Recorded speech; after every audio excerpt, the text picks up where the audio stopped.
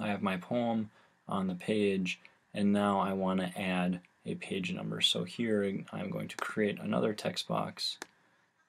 I'm going to add a page number. This one is on page 2, so I click 2, and then I'm going to create another text box and call that page 3. Now I can use my black arrow to find the exact middle, go four lines over, and then I have 7, 11,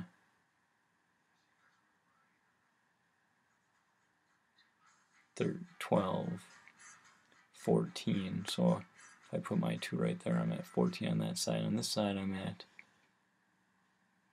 8, 16. So I need to come back.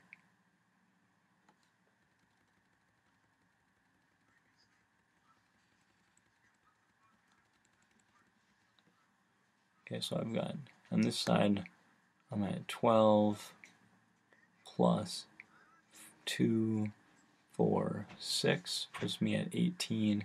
And on this side, I'm at 16 plus 1. So I could move it right in the middle of that line. That's just about the middle of the document.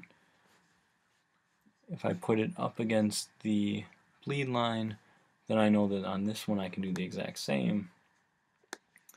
So I simply move my page over by scrolling down with that key, scrolling with that key, and I can move this one to the same place at 412.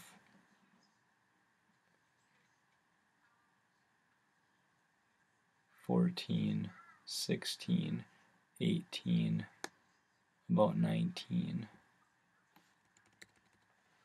So I know that's about the center as well. So now I have my pages 2 and pages 3 numbered, and I have poems on each page.